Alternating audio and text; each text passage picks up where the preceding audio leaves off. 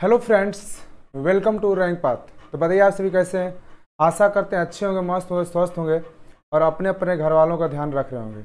लेकिन इस समय जो आज का माहौल चल रहा है, उसमें तो मैं आशा करता हूँ कि आप लोग अच्छे नहीं होंगे, क्योंकि आज जो हो रही है, जो आज हम लोगों के साथ हुआ है, वो शायद अभी तक लाइफ में कभी नहीं हुआ होगा।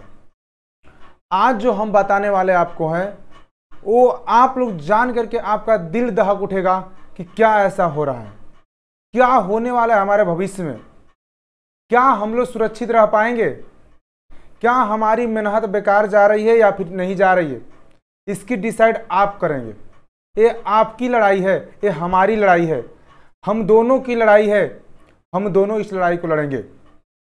आप जानते हैं कि आज सुबह से आप लोग क्या क्या प्रक्रियाएँ हो गई है। आप लोग अच्छी तरह से जान चुके होंगे कि हमें क्या करना है। आज तक से कहना जब से हमारा सेना भर्ती प्रक्रिया चल रही थी, अभी तक से ऐसा कोई नियम लागू नहीं हुआ था जिससे कि हमारी भविष्य खराब हो जाए। लेकिन आज हमारा भविष्य पूरी तरह से डैमेज होने पर आ गई है, पूरी तरह से डिस्ट्रॉय होने पर आ गई है। सरकार सिर्फ़ अपनी फ़ायदा चाह रही है, आपकी फ़ायदा बिल्कुल नहीं चाह रही। आए नहीं चाह रही है कि आपके क्या होगा लाइफ में, आपका भविष्य क्या होगा, ये सरकार नहीं जान रही है। सिर्फ़ सरकार जो है ऊपर ऊपर को देख रही है। आपके ग्राउंड फ्लोर पर आपने कितने धूर फाँक करके उसके लिए मेहनत किए हैं, कितने आपने धूर खाए हैं, ये सरकार नहीं देख रही है। सिर्फ़ सरकार देख रही है कि मुझे किस तरह से बेनिफिट होगा, मुझे किस तरह से प्रॉफिट होगा, सिर्फ़ वो देख रही है। आप लोग इस वीडियो को वहाँ पहुंचाइएगा, जहाँ की सरकार स्वयं इसे देखे। मैं सरकार को स्वयं अपना चेहरा दिखाना चाहता हूँ। मुझे किसी से डर नहीं। मुझे सरकार गिरफ़्तार कर ले, इसकी भी कोई डर नहीं। क्योंकि जो सच्चाई है, वो सच्चाई होकर रहेगी। सरकार अच्छी तरह से जानती है कि भविष्य में क्या होने वाला है। अरे, एक डिफेंस था जो सुरक्षित था। बच्चे ये सोचते, चलो भाई, डिफेंस में हम मेहनत करके जॉब ले लेंगे। आर्मी में हम मेहनत करके चले जाएँगे। लेकिन सरकार उसको भी बर्बाद कर दिया। सरकार उसके बाद, सरकार क्यों नहीं प्राइवेटाइजेशन कर दे रही है भाई?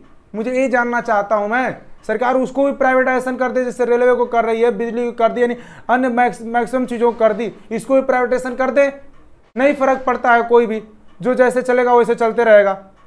सरकार सो रही है कि हम गवर्नमेंट भी बनाए रखें और इसको बच्चों का भविष्य भी खराब कर दे, ऐसा सरकार ने तुल गया है लेकर के। देखो, सरकार जो कर रही है ना बाबू, जो भाई मेरे सरकार कर रही है ना, वो बिल्कुल गलत है।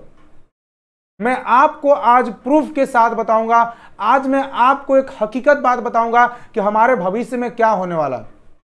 सरकार ने अपनी बातें तो रख दी, लेकिन सरकार ये नहीं जान पाई, सरकार ये नहीं जान पाई कि आखिर में उनके साथ अगले क्या होने वाला है। ये सरकार नहीं समझ पाई।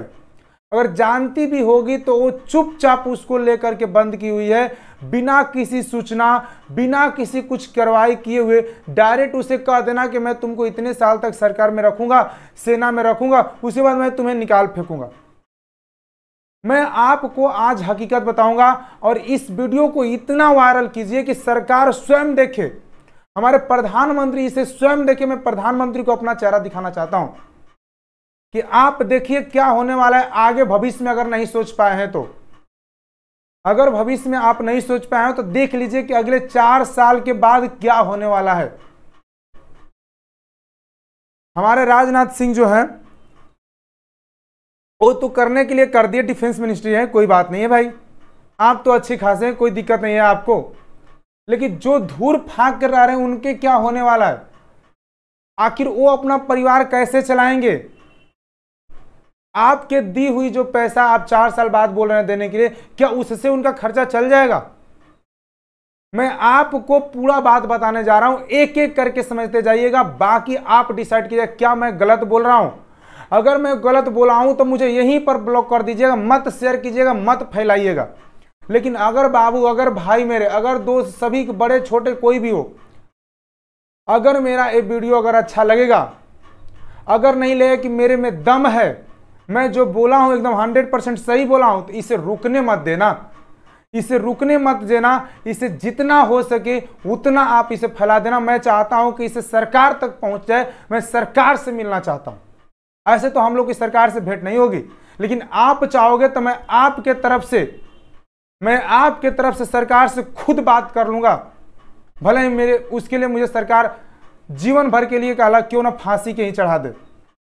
मुझे डर नहीं, क्योंकि एक मरेगा ना, एक अमित मरेगा ना तो हज़ार अमित तैयार हो जाएँगे, ये बात को याद रख लेना। एक अमित मरेगा, हज़ार अमित तैयार हो जाएँगे, इसमें कोई शक नहीं। और मुझे इसकी कोई परवाह नहीं कि मेरा क्या होने वाला है। मैं जानता हूँ कि ये वीडियो जाएगा तो मुझे पुलिस ज़रूर आएगी, लेकिन इसका मुझे डर नहीं, क्योंकि बाबू, जो सच्चाई है, मैंने आज तक कभी भी सच्चाई का साथ नहीं छोड़ा हूँ। मैं कभी भी झूठे का सहारा लेकर के आज तक यहाँ तक नहीं पहुँचा हूँ। जो सच्चाई है, सच्चाई को लेकर के मैं आगे तक गया हूँ और सच्चाई के साथ ही जीऊँगा और सच्चाई के साथ ही मरना भी पसंद करूँगा। तो इस वीडियो को मैं एक एक बात आपको बताने जा रहा हूँ। बारतिकी से सुनते रहिएगा और इसके सुनने के बाद इस वीडियो को रुकने मत देना भाई, बस आपसे इतना ही रिक्वेस्ट है। आप सभी साथी, सभी दोस्त से रुकने मत देना इस वीडियो को जितना हो सके। मैं चाहता हूँ मुझे कोई चीज़ का टेंशन नहीं है। मैं चाहता हूँ कि सरकार देखे इस चीज़ को। मैं सरकार को दिखाना चाहता हूँ। क्या हो सकता है आगे भविष्य में? चार साल बाद इनकी बच्चों की लाइफ क्या होगी, जो आपने वैकेंसी निकालने के नाम पर इतना बड़ा धांधली करने के लिए सोच लिया आपने सिर्फ़ डिफेंस आर्मी को भी एयरफोर्स नेवी को भी बर्बाद करने पर तुल गए जो हमारे देश की सेवा कर रहे हैं। जो हमारे देश की सेवा कर रहे हैं, उनको भी आपने काला नहीं छोड़ा। अब किसको छोड़ेंगे? हम राजनाथ सिंह से क्वेश्चन पूछना चाहते हैं। कि आप बताइए मुझे कि चार साल बाद इन बच्चों से क्या करवाएँगे? मुझे उनसे प्रश्न ये है। आप चार साल बाद क्या करवाएँगे इन बच्चों से? मुझे इतना ही बता दीजिए। जो आपने एक कह दिया है ना कि 25 परसेंट बच्चों को परमानेंट हम रखेंगे, उनका भी मैं पर्दाफाश अभी करूँगा कि 25 साल के बाद वो कौन से बच्चे रहेंगे जो काला परमानेंट होंगे और पचहत्तर परसेंट वो कौन से बच्चे होंगे जो बर्बाद हो जाएँगे, बाहर निकाल फेंक दिए जाएँगे। इसका भी मैं अभी बताऊँगा, इसको भी राजनाथ सिंह अगर देखेंगे तो मुझे कोई परवाह नहीं है, मेरी प्रधानमंत्री देखेंगे, उसे भी मुझे कोई कोई परवाह नहीं है। वो देखें और देख करके ये डिसाइड करें, क्या मैं गलत बोल रहा हूँ? क्या आज तक से नहीं होते आया है? क्या आज तक से किसी वैकेंसी में धांधली नहीं होते आया है? आप क्या नहीं जानते हो कि कौन से बस वैकेंसी में धांधली नहीं हो रहा है? क्या इसमें नहीं होगा? जब आपने अपना नियम चेंज करके धांधली के रूप में ला दिया है तो होना तय है। अगर आप जो है इस धांधली के रूप में आ गए हैं तो ये होना तय है और होकर रहेगा। आप एक एक बातें जो पढ़ चुके हैं, मैं तो जानता हूँ सभी बच्चे पढ़ चुके होंगे, लेकिन एक एक बातें को याद रखिएगा, मैं एक एक बातें लिख लिख कर आपको बताऊँगा कि कैसे होने वाला है, कैसे धांधली होगी, कैसे होंगे, कैसे 25 परसेंट वाले बच्चे सिर्फ़ सिलेक्शन होंगे और कौन कौन से होंगे 25 परसेंट वालों में। और चार साल बाद आप जो देने वाले हैं और जो मंथली देंगे, उससे उनका कितनी परवरिश होगी, क्या तक काम करेंगे, उसके बाद वो अगले वाले क्या करने वाले हैं, इसको भी आप अच्छे से ध्यान से सुन लीजिएगा। फिर उसके बाद आप डिसाइड कीजिएगा कि इस वीडियो को क्या करना है। क्या हमें मिलाना है कि नहीं? हम आपके तरफ़ से, आपके फेवर में मैं बात करूँगा। आप अगर डर रहे हैं सरकार से कि मुझे जेल जाना पड़ेगा, मैं नहीं डर रहा हूँ। मैं जाऊँगा आप लोगों की वजह से जेल में। लेकिन मुझे कोई फ़र्क नहीं, क्योंकि मैं मर जाऊँगा ना। मैं पहले ही बोल दिया कि एक अमित मरेगा, लाखों अमित तैयार हो जाएँगे। मुझे कोई शक नहीं। एक मरेगा, लाखों तैयार बाबू लेकिन इसे रुकने मत देना। अगर मुझे कुछ हो भी जाए ना तो रुकने मत देना डर की वजह से। वरना आज मैं चार साल के लिए जो मैं बच्चों के लिए साथ लड़ रहा हूँ, अगले आने वाले हर एक साल में ऐसा होगा और हर एक साल में काला लोग इसे हमेशा बुरी नज़र से करेंगे। याद रख लेना। तो ध्यान से सुनिएगा, मैंने क्या क्या बातें आपसे करने के लिए सोचा हूँ। क्या क्या मैं करूँगा, इसको बात ध्यान से सुनिएगा। सरकार ने कहा है कि मैं जो है चार साल के लिए रखूँगा। सरकार ने बोला है कि मैं जो है चार साल के लिए रखूँगा फोर इयर्स के लिए। फोर इयर्स के लिए मैं रखूँगा। चार साल के लिए आप रखने के लिए तो बोल दिए। चार साल तो आप रखने के लिए बोल दिए, लेकिन ये बताइए कि चार साल बाद बच्चे क्या करेंगे? चार साल बाद बाद क्या करेंगे? मुझे इतना बताइए आप कि चार साल बाद क्या होगा इनका भविष्य? दूसरी बात कि आपने एक कह दिया है कि मैं 25 परसेंट बच्चों को परमानेंट करूँगा। पर 25 परसेंट लोगों को मैं क्या करूँगा? रेगुलर करूँगा। 25 परसेंट लोगों को मैं रेगुलर करूँगा, यानी कि परमानेंट करूँगा।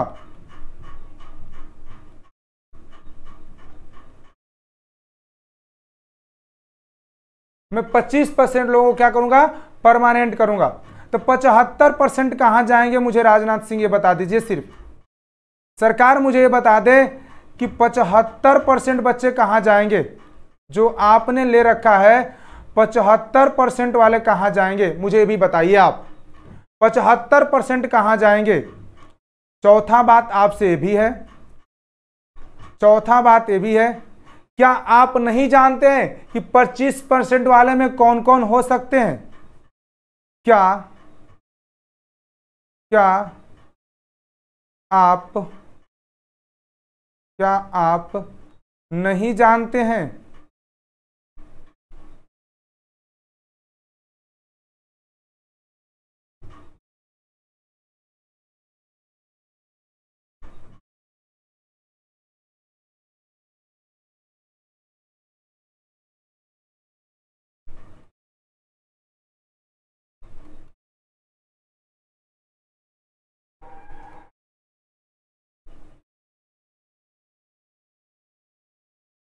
बताइए, क्या आप नहीं जानते हैं कि इसमें 25 परसेंट वाले में कौन कौन होंगे? किस तरह से उनको रेगुलर रखा जाएगा? इसकी भी बातें मैं करूँगा आपके साथ में। इसकी भी बातें मैं करूँगा आपके साथ में। बस आप लोग बात को मेरे सुनते रहे मेरे क्या क्या प्रश्न हैं? मेरे क्या क्या प्रश्न है, मुझे इस बात को ध्यान से सुनिएगा। फिर मैंने कहा कि बाबू, सरकार ने कह रही है कि मैं फ़र्स्ट फ़र्स्ट स्टूडेंट में पहला जो ईयर्स होगा पहला जो ईयर्स होगा, मैं उनको तीस हज़ार रुपया दूँगा। क्या बोला है सरकार ने? मैं उनको तीस हज़ार रुपया दूँगा। जिसमें आपके पास जो मिलेगा, जो आपको मिलेगा, वो इक्कीस हज़ार रुपया मिलेगा। इक्कीस हज़ार रुपया मिलेगा। और जो अकाला होगा, नौ हज़ार रुपया गवर्नमेंट रख लेगी। नौ हज़ार रुपया गवर्नमेंट रख लेगी। जब दूसरे साल में आप जाएँगे, दूसरे ईयर्स में जाएँगे दूसरे ईयर्स में जाएँगे तो सरकार आपका तनख्वाह जो है तैंतीस हज़ार रुपया कर देगी और आपके हाथ में जो जाएगा, वो तेईस हज़ार एक सौ जाएगा। तेईस हज़ार एक सौ जाएगा, बताओ। तेईस हज़ार एक सौ जाएगा, बताओ। तेईस हज़ार एक सौ जाएगा। और सरकार कितना रख लेगी? तो नौ हज़ार नौ सौ रख लेगी। नौ हज़ार नौ सौ रख लेगी, बताओ। फिर तीसरे साल में आप जाएँगे पेमेंट की बातें हो रही है। तीसरे साल में अगर आपकी बातें होगी तो तीसरे साल में हो जाएगा छत्तीस हज़ार पाँच सौ। आपका जो पेमेंट बढ़कर हो जाएगा छत्तीस हज़ार पाँच सौ। आपके जो पास जाएगा, वो पच्चीस हज़ार। मैं सब कुछ रख लिया हूँ, पच्चीस हज़ार पाँच सौ अस्सी। जो सरकार के पास हो जाएगा, वो हो जाएगा दस हज़ार नौ सौ पचास रुपया। बताइए, ये पर मंथ की बातें हो रही मैं बार बार बोल रहा हूँ पर मंथ की बातें हो रही है। याद रखिएगा इसे, रुकने मत दीजिएगा।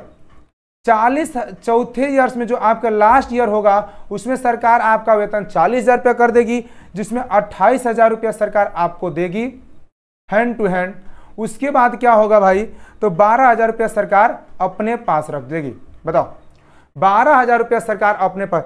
बता रहे भाई कि आप अगर पहले साल में आपका होता है इक्कीस हज़ार रुपया सरकार आपको देती है, नौ हज़ार रुपया रख लेती है। बताओ, मैं तो जानता हूँ इतना भाई कि कोई भी बच्चा, कोई भी बच्चा रिच परिवार से तो आर्मी जीडी में जाएगा नहीं। कोई भी बच्चा रिच परिवार से आर्मी में जीडी में तो नहीं जाएगा। भाई, गरीब के लड़के जाते हैं, गरीब के लड़के जाते हैं, किसान के लड़के जाते हैं, रोड पर काला जो ठेल लगाकर बेचते हैं, उनके बच्चे जाते हैं। बताओ, बाबू, वो अगर साल भर तो कई साल तो वो क्या करेंगे कि अपना जो है, उनको बिताने में समय लग जाएगा। कई साल, एक मिनट। कई साल जो है, उनको अपना दैनिक स्थिति सुधारने में लग जाएगा। बताओ।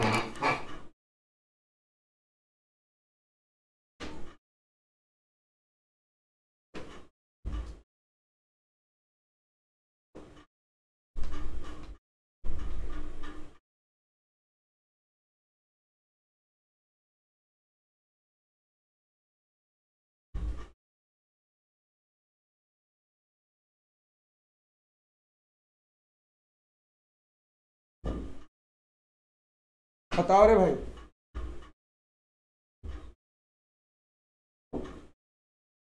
बताइए। क्या मैं गलत बोल रहा हूँ? कई साल जो है उनको उनकी दैनिक स्थिति सुधारने में लग जाती है। अगर आप उसको, अगर आप उसको, अगर एक कह करके छोड़ते हैं कि भाई मैं तुम्हें इक्कीस हज़ार रुपया पर महीना का देता हूँ तो बताओ उसके इक्कीस हज़ार में क्या होगा? बताइए। मैं आप लोगों से आज हर एक क्वेश्चन का प्रश्न पूछना चाहता हूँ और मैं चाहता हूँ कि आप लोग जो है इस बात को बताएँ कि क्या होगा। डिसाइड खुद ही करें। डिसाइड खुद ही करें।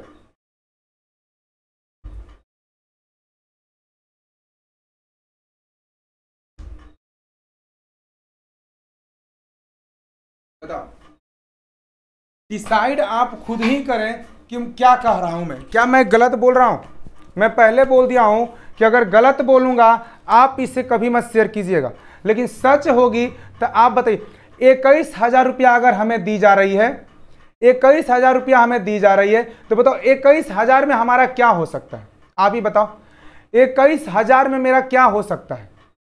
इक्कीस हज़ार सरकार मुझे एक साल में दे रही है उससे तो मेरा दयनीय स्थिति सुधारने में ही एक साल क्या दो तीन साल तो लग जाएँगे। बताओ। दो तीन साल लग जाएँगे। मैं पढ़ाई करता हूँ, मैं लिखाई करता हूँ, मैं दौड़ धूप करता हूँ, इसलिए कह मेरी लाइफ सेट हो। बताओ।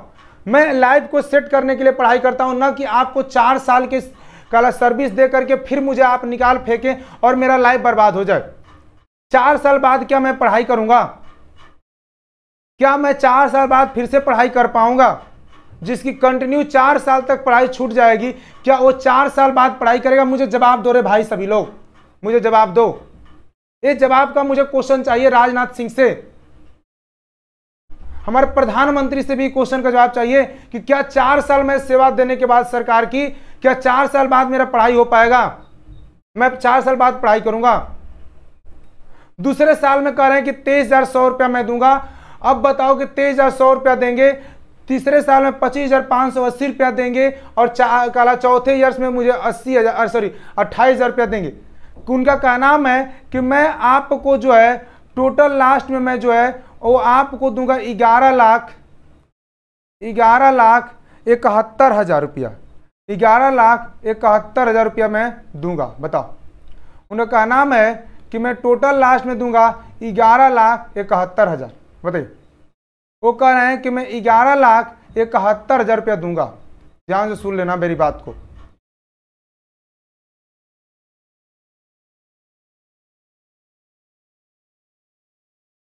ग्यारह लाख इकहत्तर हज़ार रुपया। भाई, ग्यारह लाख इकहत्तर हज़ार रुपया अगर मुझे आप दे दे रहे हैं, ग्यारह लाख इकहत्तर हज़ार रुपया आप मुझे दे रहे हैं तो क्या इससे मेरा क्या हो जाएगा? बताओ। मैं पूछना चाहता हूँ कि इससे मेरा क्या हो जाएगा?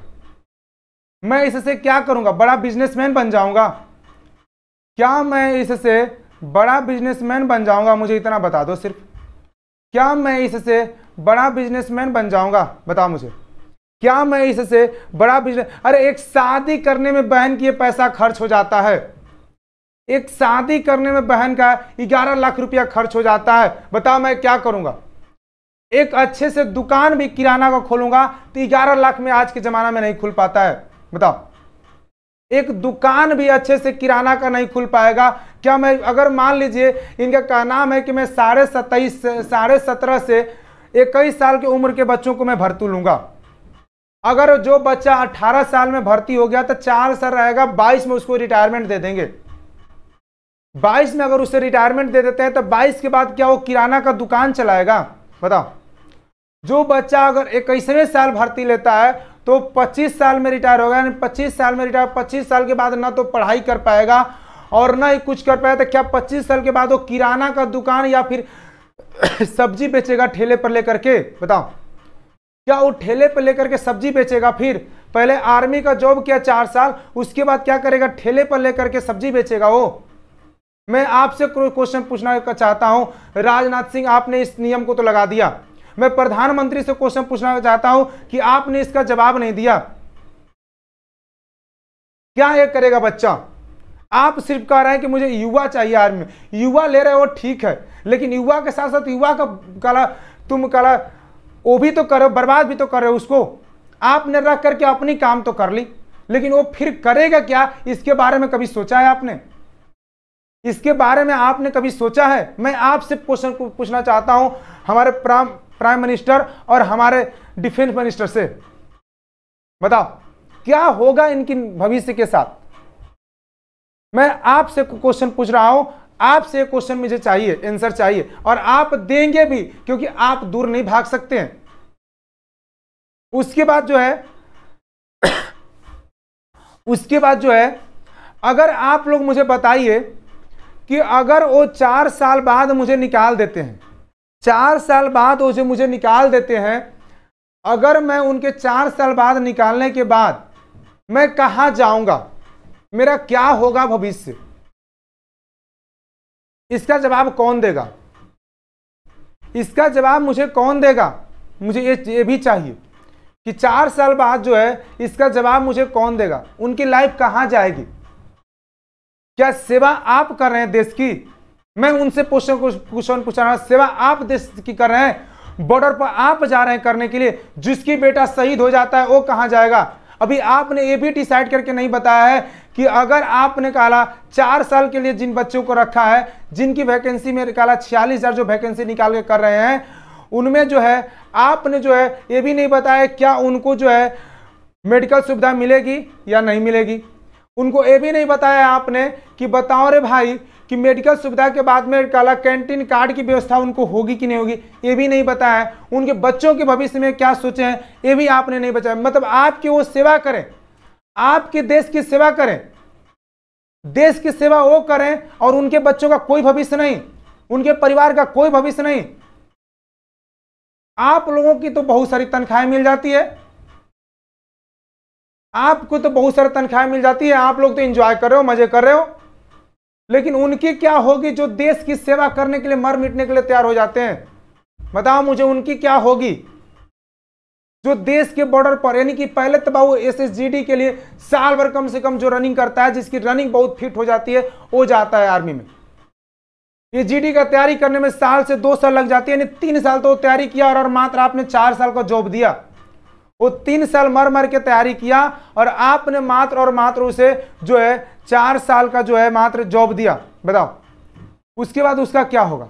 अब सुनो, आप लोग जो कह रहे थे कि सर 25 25 परसेंट वाले क्या होंगे? मैंने कहा कि मुझे नहीं चाहिए था छियालीस हज़ार वैकेंसी मैंने कह रहा हूँ, आपके लोग की तरफ़ से मुझे छियालीस हज़ार वैकेंसी ना दे करके छियालीस हज़ार वैकेंसी न दे करके मुझे आप दस हज़ार भी वैकेंसी देते, दस हज़ार भी वैकेंसी देते, लेकिन दस हज़ार को परमानेंट रखते।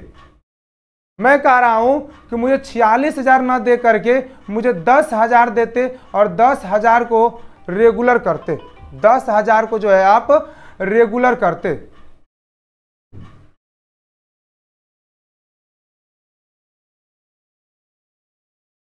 रेगुलर करते हैं। बताओ। मैं कह रहा हूँ कि मुझे दस हज़ार बच्चों को रेगुलर यानी नियमित रूप से रखते, नियमित रूप से रखते।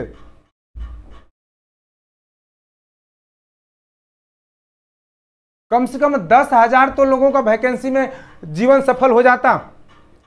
दस हज़ार लोगों को तो नियम रूप से जीवन सफल हो जाता।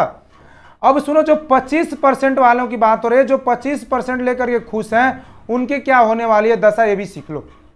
पच्चीस परसेंट जो लेकर के खुश हैं कि पच्चीस परसेंट तो मेरा सर कोई दिक्कत नहीं है। भाई, आप नहीं जानते हो क्या? किस किस बहाली में धांधली नहीं हुआ है? किस एग्ज़ाम में धांधली नहीं हुआ है? किस एग्ज़ाम में बाबू, इसमें भी आगे चार साल बाद देख लेना क्या होगा। इसमें भी बड़े बड़े अफसरों का हाथ होगा बड़े बड़े लोगों को हाथ होगा। वो कहेंगे, बाबू, मुझे पाँच लाख रुपया दे दे। मुझे छह लाख रुपया दे दे, मैं तुम्हें रेगुलर करा दूँगा। एक क्वेश्चन उठेगा बाद याद रख लेना। तो लोग, आज मैं बोल रहा हूँ, इस क्वेश्चन को दिमाग में उठा लेना। उस समय भी 25 परसेंट की लड़ाई वो लगेगी कि मुझे पाँच लाख रुपया दे दे, तुझे मैं नियमित करवा दूँगा। तुम मुझे छह लाख रुपया दे दे, मैं तुम्हें नियमित करवा दूँगा। बता, ये धांधली नहीं है तो क्या है? एक करप्शन नहीं होगा तो क्या होगा? डिफेंस में नहीं करप्शन होगा क्या है क्या ये डिफेंस में करप्शन नहीं होगा? है? ये डिफेंस में करप्शन नहीं होगा आर्मी में करप्शन नहीं स्टार्ट हो जाएगा। क्या उसमें काला घूस वाली कामें नहीं हो जाएगी? उस समय भी लगेगा, बाबू, कि मुझे पाँच लाख रुपया दिवा दे, छह लाख रुपया दे दे। मैं तुम्हें क्या करूँगा? मैं तुम्हें नियमित करवा दूँगा। छह लाख रुपया दे दे तू, मैं तुम्हें नियमित करवा दूँगा। छह लाख रुपया दे दे। मैं तुम्हें क्या करूँगा? नियमित करवा दूँगा। यानी कि रेगुलर करवा दूँगा। परमानेंट तुम हो जाओगे। रेगुलर हो जाओगे। ये सवाल उठेगी, बाबू, इसलिए मैं कह रहा हूँ, भाई, आज ही इसको भी उठाओ सवाल को। चार साल बाद यही होने वाला है कि उसमें भी तुम्हें कहा जाएगा कि चार साल बाद जो कह रहे हैं ना कि चार साल बाद पच्चीस परसेंट रहूँगा पच्चीस परसेंट वाले में ये लड़ाई होगी कि ये कहा जाएगा कि तुम मुझे चार लाख रुपया दे दे, पाँच लाख रुपया दे दे, छह लाख रुपया। यहाँ तक कि दस दस लाख की बातें होने लगेगी कि दस लाख सॉरी दस लाख रुपया दे दो, मैं तुम्हें क्या करूँगा? रेगुलर करवा दूँगा। ये अफसरों की कलन रणनीति हो जाएगी, यहाँ पर करप्शन बढ़ जाएगा। सरकार इसको नहीं ध्यान रखिए सरकार इसे ध्यान नहीं रखिए कि क्या होने वाला है चार साल बाद। ये नियम चार साल बाद आ जाएगा। इस बात को याद रख लेना। चार साल बाद ये चीज़ें आ जाएगी। घूस लेने वाली बात। यहाँ पर घूस लगेगा बाबू, याद रखना। अब तुम्हें घूस मांगा जाएगा। तुम्हें जॉब में भी घूस मांगा जाएगा। तुम्हें रेगुलर होने के लिए घूस मांगा जाएगा। ये पाँच से छह लाख तुम्हारी घूस हो जाएगी। सरकार अच्छी तरह से बात को जानती है, फिर भी उस बात को नहीं मान रही है। ये आराम से सोची होगी इस बात को। इसलिए मैं कह रहा हूँ बाबू, कि जो आप लोगों ने स्टार्ट किया है, उसे रुकने मत देना। मर जाते हैं लोग काला नौकरी लेने के लिए। धूर खाते हैं। रात का रात और दिन का दिन ये नहीं देखते हैं कि मेरी ज़िंदगी क्या हो रही है। अपनी जवानी को काला रोडों पर दौड़ा करके खत्म कर देते हैं, फिर भी सरकार ने उनको नहीं बख्शा। देश के जो सेवा करने वाले, बॉर्डर पर सेवा करने वाले, रात के रात, दिन के दिन जो बॉर्डर पर सेवा करते हैं, उनको भी सरकार ने नहीं छोड़ा। उनको भी साफ़ कह दिया कि जो है, आपको मैं इस तरह से बर्बाद करूँगा। अरे, डायरेक्ट तुम मुँह से नहीं बोल सकते हो, लेकिन इस तरह से तो तुमने डायरेक्ट कह दिया ना। कि मैं आपको इस तरह से बर्बाद करूँगा। एक डिफेंस बचा हुआ था डिफेंस को भी आपने ले, ले डूबा। मुझे सिर्फ़ चार साल बाद वो क्या करेंगे? पचहत्तर परसेंट मुझे इसकी आंसर दे दो रेगुलरिटी। मैं जान जाऊँगा कि आप ये नियम सही बनाए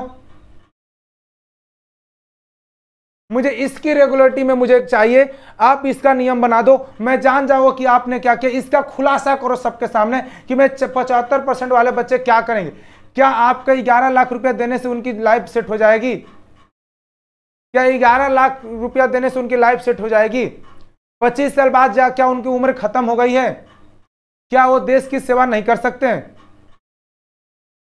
क्या आपकी भी यही होती है? आप काला बूढ़े हो जाते हो ओल्ड हो जाते हो, क्या आपको ने अरे भाई, चार साल बाद उनसे निकाल रहे हो? वो तो और भी काला हो क्या हो गया ना? एक्सपीरियंस हो गया उनके पास में, देश की सेवा करने की जागरूकता उनके पास में हो गई।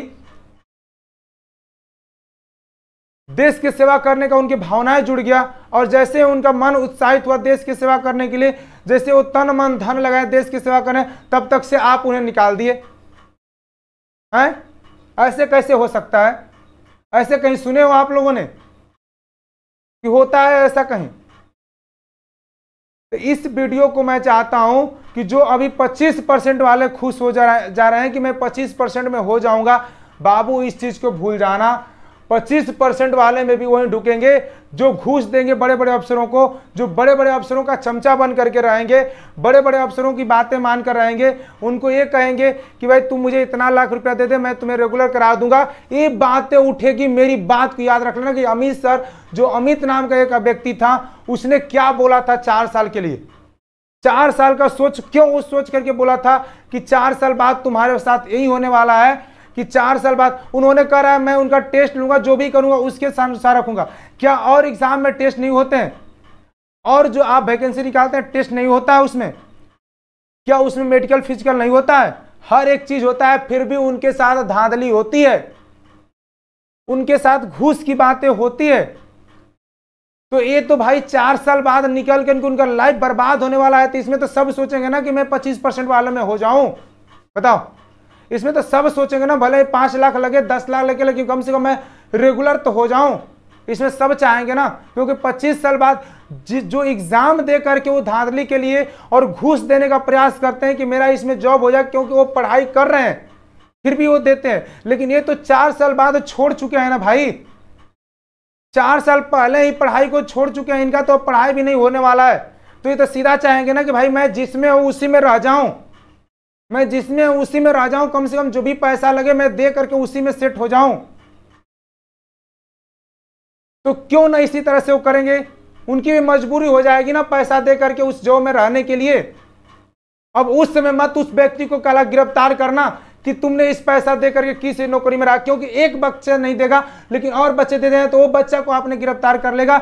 जो बच्चे जो है, घूस दे करके रहने के प्रयास करेंगे, उनकी मजबूरी हो गई है रहने का घूस दे करके आप उन्हें काला पकड़ने का अधिकार आपके पास नहीं है।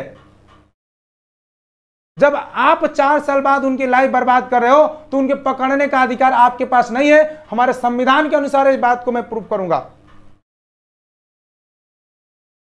जिस तरह से आपने हर एक चीज़ को तोड़ते हुए आ रहा है, उसी तरह से मैं कह दे रहा हूँ कि ये भी आप बर्बाद कर रहे हो। ये भी बर्बाद करो। मैं किसी के खिलाफ नहीं बोलता। मैं किसी के पक्ष में नहीं हूँ। मैं किसी मैं किसी विपक्ष पार्टी से बातें नहीं करता हूँ। मेरे लिए कोई पार्टी मार्टी नहीं होती है। मैं एक शिक्षक और एक स्टूडेंट्स के हैसियत से बात कर रहा हूँ। मैं किसी पार्टी या संगठन से नहीं होता हूँ। मुझे तुरंत क्या कह दिया जाएगा कि अपोजिशन पार्टी वाला था, तब इतने इतना विरोध किया। लेकिन नहीं, मैं किसी अपोजिशन पार्टी से नहीं हूँ। मुझे किसी से लेना देना नहीं है। मैं सिर्फ़ इतना जानता हूँ कि जो सच्चाई है, सच्चाई रखो। आपकी सरकार होगी तो मैं आपको भी ऐसे ही कहूँगा। दूसरे की सरकार आएगी तो दूसरे को भी मैं ऐसे ही कहूँगा, क्योंकि ये सच्चाइयाँ हैं। मैं सच्चाइयों से कभी पीछे नहीं हटता। तो ये बात को याद रख लीजिए। मुझे प्रधानमंत्री जी, राजनाथ सिंह जी, कि आप लोगों ने जो किया है इस पर एक बार विचार ज़रूर करें कि चार साल बाद उन बच्चों का क्या भविष्य होगा, जिनको आप निकाल देंगे जॉब से। जिनको आप घर भेज देंगे, उनका क्या होगा, आपसे हाथ जोड़कर इसी का निवेदन है कि आप इनके बारे में कुछ सोचें। आप इनसे सोचें कि इनको क्या करवाएँगे आप, चार साल बाद। अगर आप कम ही वैकेंसी निकालते, बच्चे कम ही हो गए, लेकिन रेगुलर तो होते ना, मुझे इतना चाहिए आपसे। आप तो अपना नाम रख देंगे। आप जो है चार साल, पाँच साल बाद जो आपकी काला वोटिंग होगी, चुनाव होगा, उसमें आपने दिखा देगा, मैं आर्मी में इतने लोगों को बहाली कराया, लेकिन कितने लोगों को बर्बाद किया, ये आप नहीं दिखाओगे। आपने हर साल का आंकड़ा बना करके लास्ट में चुनाव समय ये दिखाएँगे कि मेरी सरकार ने इतने लोगों को आर्मी में बहाली जॉब दी, लेकिन उन व्यक्ति को नहीं दिखाओगे जो व्यक्ति चार साल बाद रोड पर घूम रहे होंगे, लाखों लोग रोड पर घूम रहे होंगे, उनको आप नहीं दिखाओगे। इस तरह से आपकी कुर्सी जा सकती है, याद रख लीजिएगा। आप जिनके बल पर लड़ाई लड़ते हो ना देश विदेश में जाकर के, कि हमारे भारत में यूथ जनरेशन है जो किसी देश में नहीं है, वो हमारे देश में था, है, लेकिन आप उसे भी बर्बाद करने पर लग गए हो। हमारा देश वो ऐसा देश था जो युद्धों से भरा हुआ है। अगर एक बार अगर तैयार हो जाना तो किसी देश को उसकी औकात दिखा दे। लेकिन आप उसे भी तोड़ रहे हो, उसे भी बर्बाद कर रहे हो। सिर्फ़ आप देश विदेश में जाकर के एक कहते हो कि जो है मेरी युद्ध जनरेशन है, जो किसी देश में नहीं, वो मेरे देश में पाया जाता है। लेकिन आप कह करके वो तो आपने निकल गया, लेकिन उन्हें भी बर्बाद करने पर लग गया, जो आपके लिए मर मिटते थे। जो देश के लिए मर मिटते हैं, उनको भी आपने नहीं छोड़ा। तो मैं यही बात आपसे कहना चाहता हूँ कि आप जो है पचहत्तर परसेंट जो लोगों को छोड़ रहे हैं, जो पचहत्तर परसेंट लोगों को बर्बाद कर रहे हैं, उनके बारे में आप ज़रूर सोचिए कि उनका भविष्य क्या होगा। उनका भविष्य कहाँ जा रहा है? उनका भविष्य के बारे में आप क्या सोचें? मैं इतना आपसे ज़रूर पूछूँगा। इतना सवाल मेरा जो है, हमारे डिफेंस मिनिस्टर राजनाथ सिंह से भी है और हमारे प्रधानमंत्री से भी है। मैं चाहता हूँ कि इस वीडियो को आप सभी साथी भाई बहन जितने भी लोग देख रहे हैं, जितने लोग भी देखेंगे बाद में, वो इतनी शेयर कीजिए कि मैं खुद जाऊँ उनके पास। आप लोग नहीं जा सकते, मुझे बुलाया जाए, मैं जाऊँगा। मेरा क्वेश्चन का वो जवाब दे दे, मैं आप लोगों के पक्ष से बात करूँगा। मेरे क्वेश्चन का जवाब दे दे, मैं पहुँचने के लिए तैयार हूँ। मुझे किसी बात की डर नहीं। तो इस बात को याद रखिएगा, इस वीडियो को जहाँ हो सके, वहाँ तक वायरल कीजिएगा, जितना हो सके उतना पहुंचाइएगा। मैं आप लोगों से बस इतना ही निवेदन करना चाहता हूँ। ताकि आप लोग से मैं ही जुड़ा हूँ। आप हैं, हम हैं, हम दोनों मिल करके इसका समाधान ढूंढेंगे, तभी जा करके मिलेगा। मैं अकेले कुछ नहीं कर पाऊँगा। जब तक आप मेरा साथ नहीं देंगे, मैं अकेले जो है कुछ भी नहीं कर पाऊँगा। ये बात को याद रख लीजिए। मेरे साथ आप लोग भी रहोगे, तभी मैं कुछ कर पाऊँगा। मैं भी सरकार से मैं सवाल कर पाऊँगा, मैं सरकार से तभी बातें कर पाऊँगा जब आप मेरे साथ खड़े रहोगे। तो चलिए ठीक है, मैं ये चीज़ें बताया आप लोग को, मैंने ये भी बताना था कि 25 परसेंट वाले में कैसे कैसे धांधली चार साल बाद होगा, कैसे लड़ाइयाँ होगी, ये भी मैंने आपको बताया। कितने बच्चे बर्बाद होंगे, ये भी मैंने बताया, सरकार की क्या रणनीति है, ये भी मैंने आपको बताया मैंने हर एक चीज़ आपको बताया, हर एक चीज़ आपको क्लियर किया। तो मैं चाहता हूँ कि आप इस वीडियो को इतना शेयर कीजिए, इतना काला, इतना फैला दीजिए, ताकि ये वीडियो कभी रुके नहीं। मुझे जल्द से जल्द ये मौका मिले कि मैं उन लोगों के सामने जाऊँ और सामने जा करके इसका सवाल का मैं जवाब लूँ आप लोगों की तरफ़ से। मैं ये ज़रूर चाहूँगा आप लोगों की तरफ़ से कि मैं 25 परसेंट वाले भी बात उठाऊं, मैं चार साल जो नहीं सोच पा रहे हैं, मैं उनसे चार साल बाद भी मैं पूछ सकूँ कि क्या आप नहीं जानते हो कि जो कितनी धांधली हो रही है?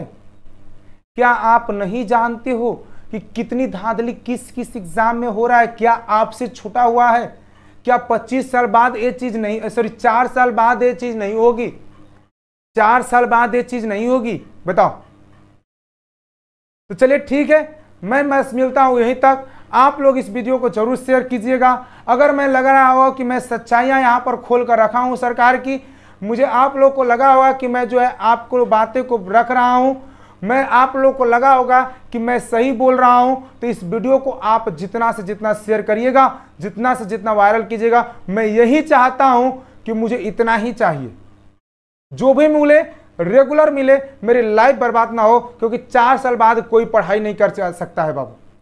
चार साल बाद जिसकी रेगुलर पढ़ाई चार साल छूट जाती है, वो पढ़ाई नहीं कर पाएगा। इस बात को भूल जाइएगा कि आप पढ़ाई कर सकते हैं।